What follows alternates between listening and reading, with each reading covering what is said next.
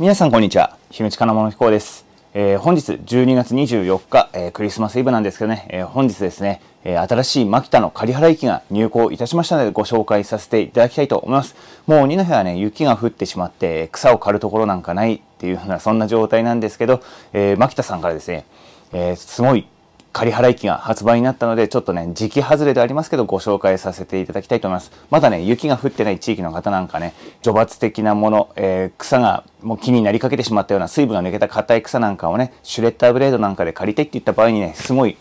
役立ってくれる、そんなようなね、えー、仮払い機が発売になったので、えー、ご紹介させていただきたいと思います。えー、品番名はですね、MUR013GZ。合わせてね、ナイロンコード専用機ということで、MUR014GZ というのが発売になりました。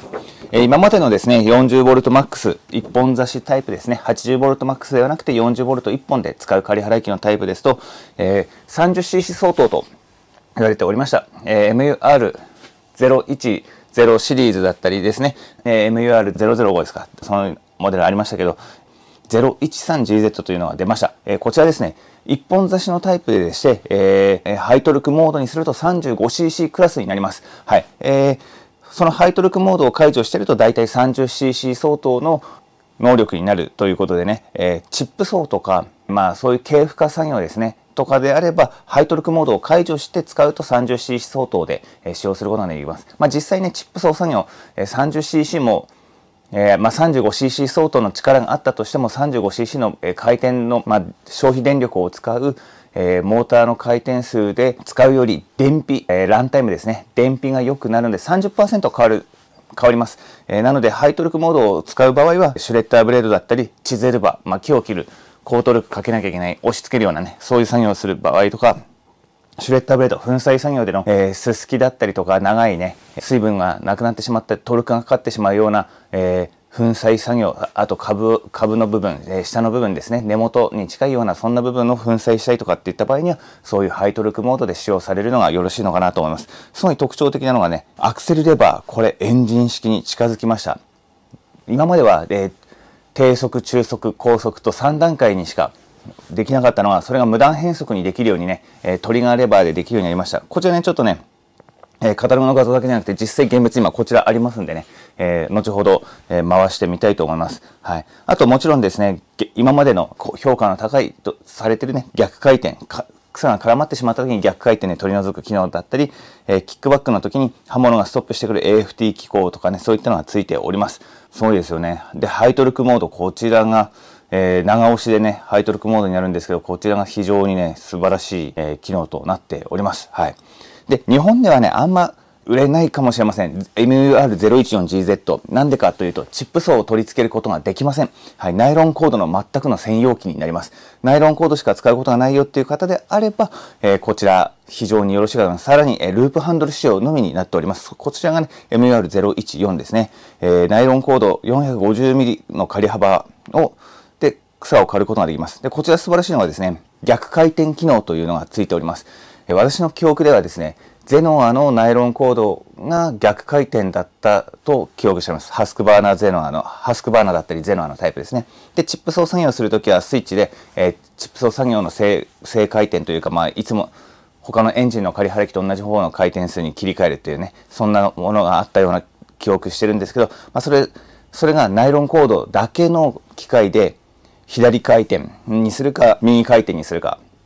っていうのを選択することができます。なんでこんな機能ついてるの？ナイロンコードカバーは左側が長くなってて、無駄に右回転にしたところでカバーの意味がなくなっちゃうから必要ないんじゃないの？って思う方も多くいらっしゃると思います。ただね、ナイロンコード草を飛ばすっていうこともしやすい機会になるので、用水路であったり、まあ、ゴルフ場と、ゴルフ場とかであれば、バスそういうバンカー周りとかね、あと、えー、その、水の流れてるところに詰まる原因になるような草をなるべく落とさないように草が飛ば草が飛んでいく方向をコントロールしたいっていう場合に立ち方がどうしてもですねいつもと反対側に持って回転させるっていうことは難しいようなそんな場所シチュエーション必ずありますそんな時に逆回転機能を使って草をね、えー、下の方に落ちないように上の方に飛ばしてあげるっていうふうに使うことでこの右回転機能とかねそういったのをね上手に使うと使いやすいんじゃないかっていうふうなねそんな機能がついてますんでね、もしそういうシチュエーションが多い作業される方で、ナイロンコード専用機1台あれば、えー、様々いろんなことができるよっていう方なんかにはね、非常にいいのかもしれませんね。ただ、そう、そういうケースが必要だっていう方はね、あの、そんな万人ではないというところでね、ナイロンコードも使えるし、チップ層、シュレッダーブレード、チゼルバ、えー、40V max1 本で作業できるっていうことで出てきたこのえー、MUR013GZ ですね、本体のみ仕様となっております。こちらの方が、たくさんの多くの方に受け入れてもらえる、使用する方が多いモデルなんじゃないのかなと感じております。えー、まあ値段的にはね、MUR01 に 80VMAX ですね。の値段からちょっとぐらい安いぐらいです。日本雑誌仕様が1本になったからといって値段がね、極端に安くなるっていうモデルではないんですけど、80VMAX を使ってた方が本体だけ買うのもいいと思います。もちろんね、えー、これから改めてフルセットで買うよっていう方もよろしいかと思います。その場合ね、日本連結の充電器じゃなくても、えー、XGT 3のタイプですね。1本ずつの充電の充電器のこのパワーソースキットとセットで買うことでお安くお買い求めできますんでね。8A セットの方でも、えー、そのような機能ございますんでね。えー、ちなみに重量ですね。5A、5A を差し込んだ時の重量が 6kg になります。えー、8A ですと 6.6kg になります。え、なので、35cc 相当のエンジンの仮払い機と比べるとちょっと重いぐらいですかね。というところで、え、MUR012 より、え、メリットが出てくるところですかね。1キロ近くここで重量軽くすることができますんでね。もちろんハーネスは、えー、マキタの両肩掛けハーネスもありますし、スチールとかそういったオレゴンだったりね、プロハーネスだったり、フォレストリーハーネスアドバンスとかそういったので重量を逃がしてあげれば、もっと作業しやすくなるかと思います。えー、釣り金具の位置もね、調整できるんでね、まあ、ちょっとこの後、え、細かく見てみて、見ていきたいと思いますので、最後までご視聴のほどよろしくお願いします。アクセルレバーがですね、非常に特徴的なんですよ。まずここで電源入れますかね。電源長押しじゃなくて簡単にワンタッチで入るようになりましたね。切るときだけ長押しですね。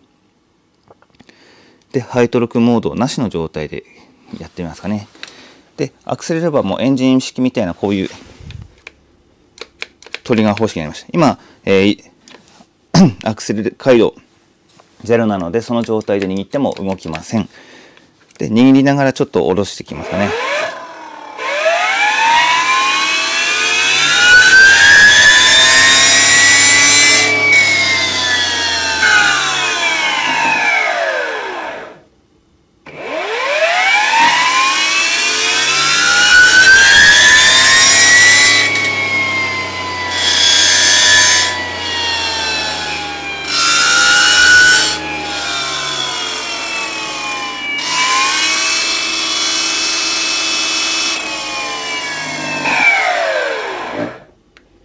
どうですかね。この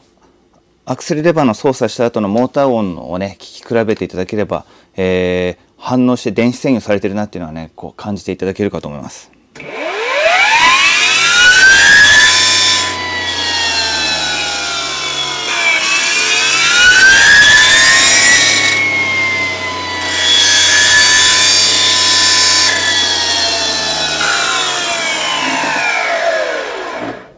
かなり、えー、従来のエンジン式のアクセルレバーに似てるので、えー、そっちに慣れてしまった方とかのそをターゲットにしてるんだなっていうのがね、汲み取れますよね。はい、でそして、ハイトルクモードにしてみますかね。長押しです。はい。では、これで回してみたいと思います。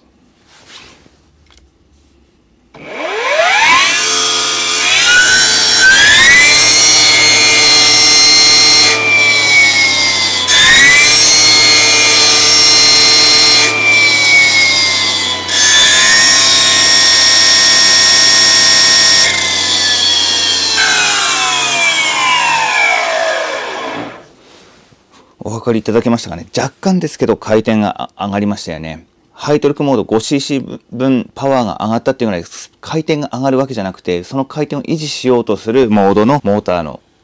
そのトルクの出し方になってるっていうことなので、チップ層作業では必要ないモードかと思います。はい。シュレッダーブレードとかナイロンコード作業、あとチゼルバーとかのね、木を切る作業とかそういったのに役立つ機能になってますね。回転がそんなに上がってないんですけど、やっぱり30%ハイトルクモードじゃない 30cc ぐらいの相当のパワーの時のモードに比べると、電費が落ちてしまう。ランタイムが落ちてしまうということなんでね。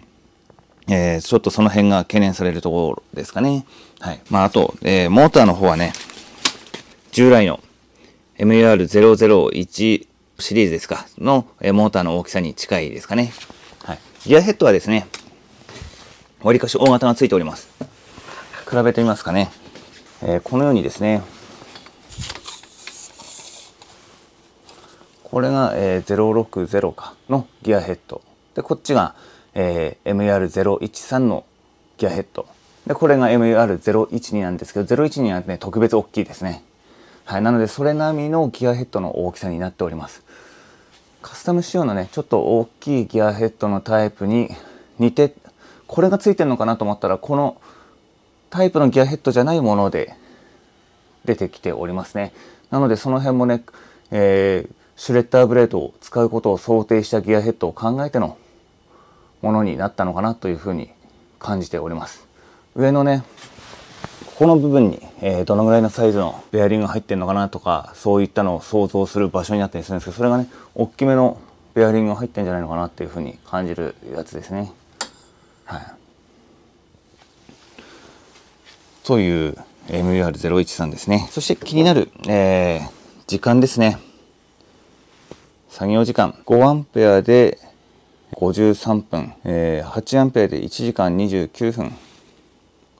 最高回転数の時間の時っていうことなんでおそらくね草を刈り始めれば抵抗をかければですね0.6かけたぐらいの時間で見た方がいいのかなと思います、はい、なので30分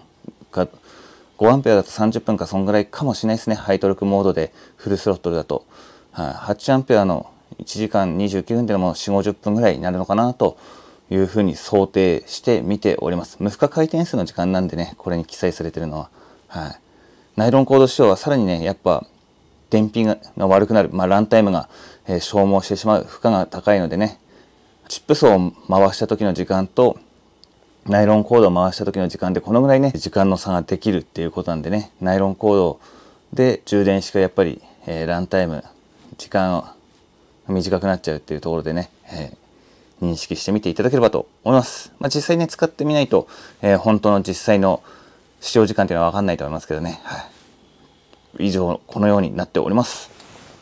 い。かがだったでしょうか ?MUR013GZ ですね。こちら本体のみと、え、パワーソースキットのセット品と、えー2種類パターンで購入可能です。はい。あと、ナイロンコードの専用機の、ね、MUR014 の方はね、当店、ね、受注発注にしたいと思います。ちょっとね、ナイロンコード専用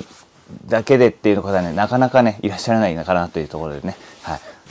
そのような引退をさせていただきたいと思いますんで、はい。もう、この雪が降ってしまっている東方の地域ではもう、しばらく春先まで必要ないかもしれませんけど、えー、MUR012 が重そうだ、重いから、えー、ちょっと使いづらそうだっていう方も多くいらっしゃるかもしれません。それをね、えー、一本差しで1キロ以上軽くなったね、えー、モデルとして出てきたのが MUR この013ですね。えー、すごいのが、その、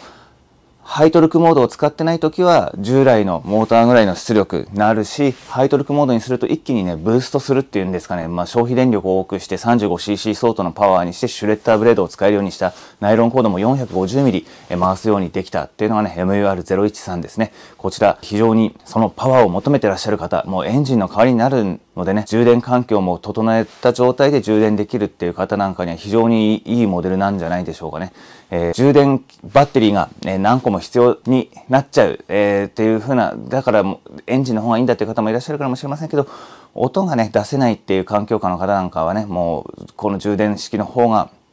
非常に使いやすいのかなと思います。えー、お金はかかっちゃいますけどね、そのバッテリーを増やすのか、もしくはポータブル電源ですね、ポータブル電源で充電しながら使うのか、えー、そういう選択肢もあるかと思いますんでね、えー、脱炭素というところで、牧田さん、このね、MUR013GZ かなり日本の充電式仮払い機市場のシェアを取りに来たなというふうにね、感じております。もう、これこそね、プロ仕様に近いものが出てきましたね。はい。もうすでにね、購入して使ってみてっていう動画とかもね、YouTube 上に上がってきておりますんでね、えー、東方の地区ではまだまだ使える時期にはならない、まあ、草が生えてこない。生えてた草も雪に隠れてしまったとかね、そんな状態になってますんでね、え、当店、え、春先までえー、使うことはないのかなっていうふうな感じはありますけど、まあそういったのもね、検索してみてください。MUR013GZ ですね。えー、非常に軽量になって、ハイパワーということでね、えー、MUR012 の、えー、販売台数が減っちゃうんじゃないかなっていうふうな、そんな心配すらしてしまう、そんな素晴らしい、えー、モデルが出てきましたのでね、まだまだ春先に向けてね、えーそういったユーザーさん向けの仮払機の発売予定があるそうです。またね、発売しましたらご紹介させていただきたいと思いますので、えー、その時はね、また動画の方で見ていただければと思います。というわけで今回 MUR013GZ のご紹介でした。えー、よかったなと思いましたら高評価お願いいたします。チャンネル登録まだの方、チャンネル登録お願いいたします。それではまた次の動画でお会いしましょう。